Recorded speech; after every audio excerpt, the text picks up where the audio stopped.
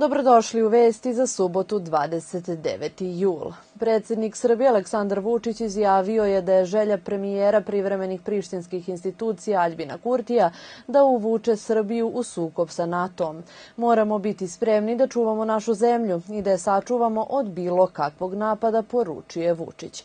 Naglasio je i da su sankcije koje su SAD uvele direktoru BIA Aleksandru Vulinu vid pritiska na njega, kao i da je veče pre uvođenja sankcija od jednog zvaničnika dobio najeksplicitniji Vladini savet da se to neće desiti ako barem najavi sankcije Rusiji.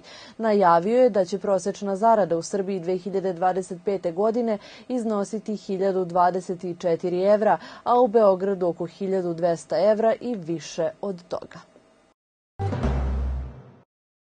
Predsednik Srbije Aleksandar Vučić izjavio je danas da Srbija ima 2,3 milijarde evra stranih direktnih investicija, što je iznad nivoa prethodne godine, koja je po tom pitanju bila rekordna sa 4,4 milijarde evra.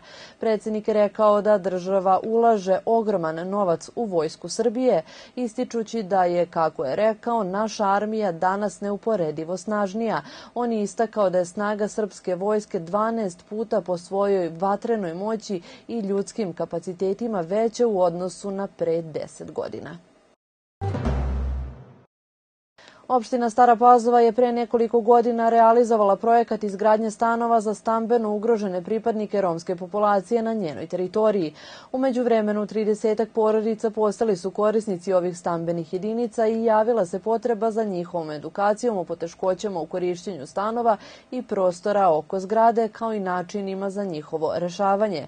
Projekat je nastavljen, a danas je održana i akcija uređenja naselja.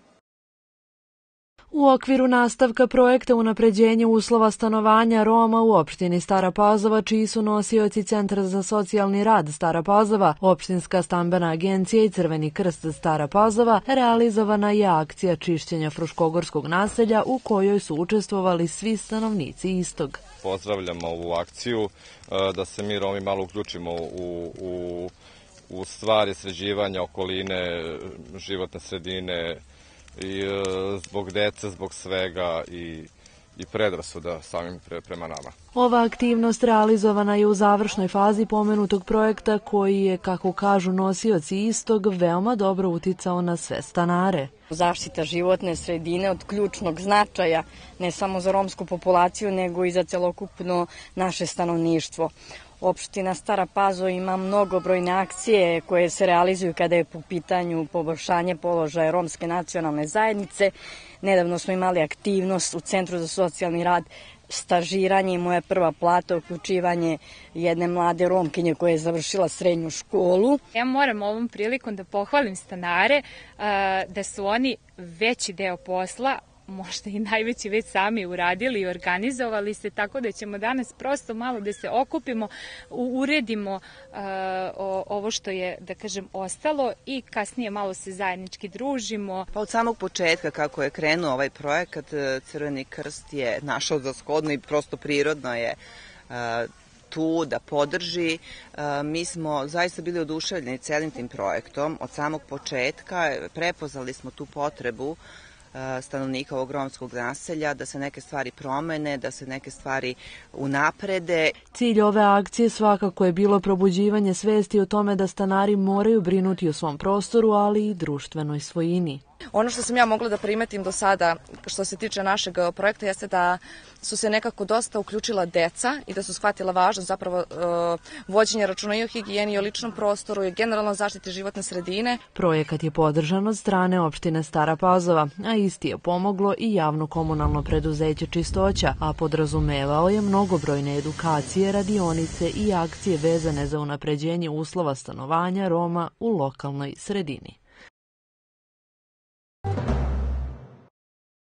U proteklih 10 godina koliko se dualno obrazovanje primenjuje u Srbiji, kroz ovaj model prošlo je oko 13.000 učenika, a đaci koji prođu ovaj vid učenja gde teorijska znanja stiču u školi, a praktična znanja i veštine kod poslodavca brže se zapošljavaju od drugih, izjavila je rukovodilac službe za dualno obrazovanje i obrazovne politike Privredne komore Srbije Aleksandra Milićević. Ona je navela da je sa početna tri profila model narastao na sadašnja 17 73, od kojih je najveći broj iz oblasti mašinstva, elektrotehnike, koje i učenici najradije upisuju, a i privreda iskazuje najveće interesovanje za njima.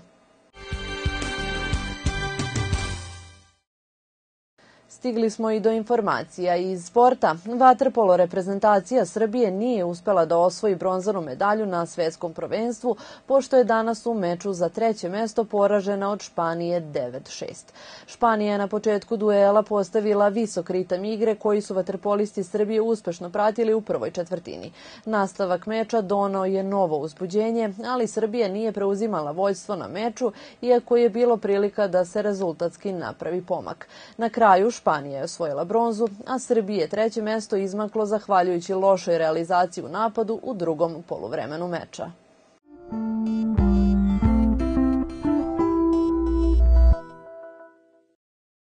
Drugog dana vikenda pretežno sunčano i toplo, sredinom dana na severu, a posle podne i uveče i u ostalim krajevima promenljivo oblačno ponegde sa kišom, pljuskovima i grmljavinom, dok će se na jugu zadržati suvo i veoma toplo.